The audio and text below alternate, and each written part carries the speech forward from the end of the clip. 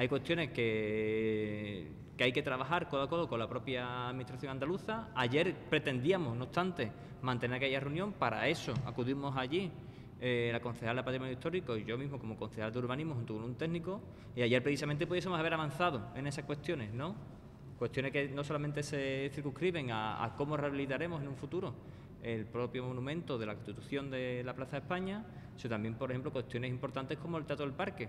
Indicaron que hemos aprobado el proyecto para eliminación de barreras arquitectónicas en la calle Sagasta, exactamente en el tramo que hay entre Bejumeda y Cervantes.